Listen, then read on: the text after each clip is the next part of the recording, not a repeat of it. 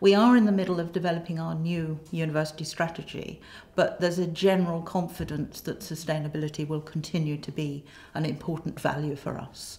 Um, certainly at Brighton, the, the one thing that I would say most staff absolutely agree on of our various corporate drivers is to do with community engagement. So for many people, community engagement, um, it, which itself means obviously lots of different things, is the aspect of sustainable development that they can most get to grips with.